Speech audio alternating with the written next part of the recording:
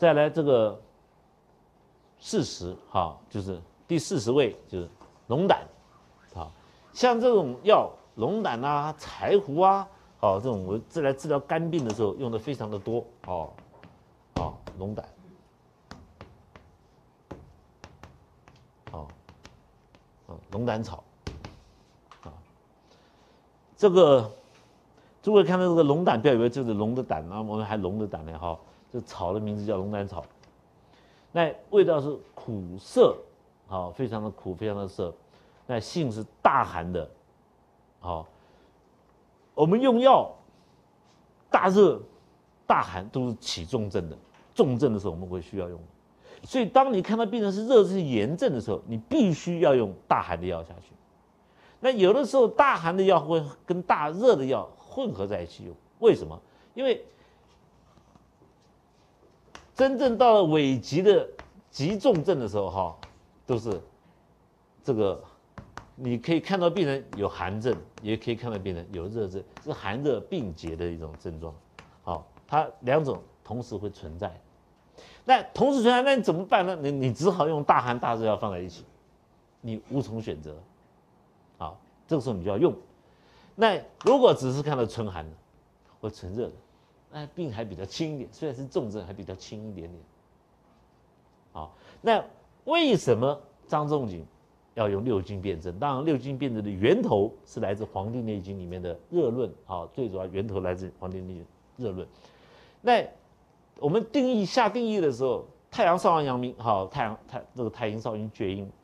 当我们病人在治症的时候，原来是最重的，对不对？厥阴啊最重。等我们等过来，我们治治治，哎，怎么老是这个老是我的病人现在是往来寒热、恶心、少阳症的，都不会死掉啊，就代表病人回来了。好，所以每一个阶段我会下定义给各位看，每一个阶段主要的药味是什么？好，当你听完《伤寒经文》，你就知道，哇，真的很详细啊，很仔细，非常的细腻哈。我们老祖宗非常细腻，包括诊断，包括处方的剂量，哪个部位怎么都很清楚。所以说，诸位通了解以后再去增加这些，像经方里面并没有把龙胆草放在经方里面去啊，你经方找不到龙龙胆草汤没有的，或者是桂枝汤加龙胆草没有的，好，但是你要知道它是出自伤这个神农本草，神农本你要要处方里面可以增加的是要从神农本草经里面找药出来，你不可以找到那个神本草本草纲目去找药，啊，然后当你当你需要做加减的时候。所以龙胆草这边诸位要记有个观念了哦，老师它是大寒的药啊，你要看那微寒，我讲过微寒都是可以常常可以当刷牙漱口当菜吃的，对不对？大寒好都不行哦，好治病的好，你不要没事，老师我要吃个龙胆草哦，就过一个礼拜你怎么那么冷啊？人瘦干干的小小的，我们这边外面热的要死，你还穿个穿个棉袄夹克来上课，大寒啊，吃龙胆龙胆草吃太多了，好。那这个药本身虽然是大寒，但是无毒，没有毒性的哈。它药味很苦，苦呢，苦味的药能燥能煎，对不对？好，能泻能泻。所以有我们如果说龙龙胆草吃下去，哈，因为大大它是苦味的嘛，好，所以病人就是有时候本来说哦，我我哎吃你的药怎么一天多了两三次大便哈？本来没有那么多，现在多了两三次大便，很好啊，因为苦味的药它是攻坚嘛，它是攻你肝里面的东西，好。主治龙胆草是这个涤邪火、除湿热的药药，好，功能健胃清热、治力杀虫、肝胆肝火、胆火、胃火下焦的湿热，所有的热症、肝胆的火，通通可以使用龙胆草。一般我的剂量来说的话，我们都是三钱，好，以我为主，三钱，好，来加减。那重症的话，我们可以如果下去，病人吃吃龙胆草一定会多，至少要多一次大便。比如说，病人原来一天一次。啊，吃了龙龙胆草以后，有加了龙龙胆草的药以后，可能变一天两次啊，或三次，就是药剂量都开的刚刚好。那原来他是便秘，吃了龙胆草以后，你不要加其他药，吃了龙胆草以后，病人会有一天一次的大便，就刚刚好了，就不要动龙胆草的剂量了。好，那我治疗肝炎、肝硬化、B 肝、C 肝、肝癌都会用到。当它出现大热症的时候，就会用大寒的药下去。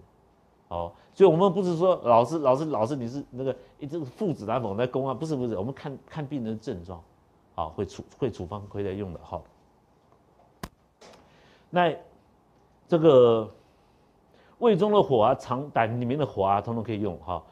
这个这个硫元素呢，好，他说去木中黄、金氏肿胀，好，都可以使用这个龙胆草。好，李东环呢，好，退肝经邪的，足下焦湿热，泻膀胱的火。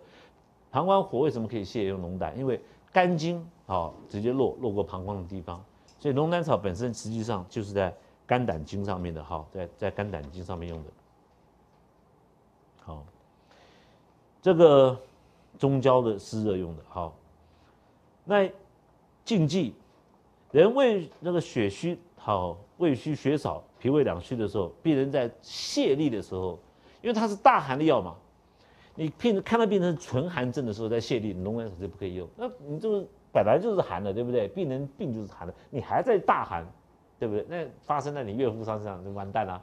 好，情敌可以，好，嗯，好，所以你还是要要了解药性，千万不要弄弄错了，好。所以龙胆草大苦大寒所致的都是湿热的病，好湿热的病。它下行的功劳和防己，好，我们后面会介绍防己。如果说用酒清，一般来说，我们这个药如果用酒泡制过再放到药里面去的话，这药都能走上走外，因为酒是清走往上升嘛，哈，吃了以后脸就红了，那个酒喝下去不脸红吗？啊，往往四散，好，那。柴胡呢为主，龙胆为治眼疾，眼睛的病我们会需要用。所以如果是眼睛是炽热的，好红血是很多的，那我们需要开龙胆草，那龙胆草就往下走啊。那那我们希望龙胆草到上面不要到下面去，对不对？你就用酒，好用酒醉一下，好用酒醉一下。用酒清怎么样清呢？平常一般来说就把龙胆草放在酒里面泡个两个小时，再拿出来就可以了。好，这样做就可以了。好，好治眼疾，好用。因为性大寒，所以不可以久服。好，那后面是泡制的方式。好，泡制的方式。好，那今天呢，我们介绍到这里，下下次我们开始讲细心。好，后面很多药都是经方的，越来越精。